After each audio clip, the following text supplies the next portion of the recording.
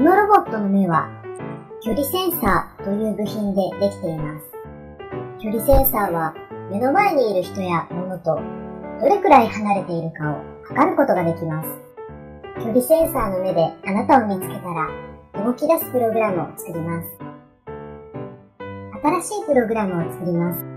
これまでは新しいプログラムを作ると、初めから置いてあるプログラムがスタートした時からプログラムを作り始めていました。今回はすぐにプログラムが動き始めると困るので、別のブロックから作り始めます。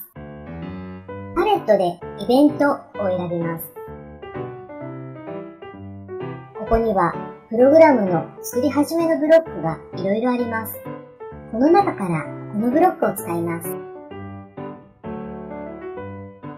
左から E 10センチメートルより近いになるように選びます。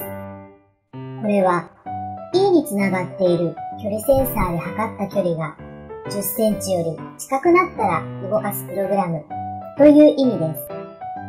では、この後に株のライトを光らせるブロックをつなげて、プログラムを完成させましょう。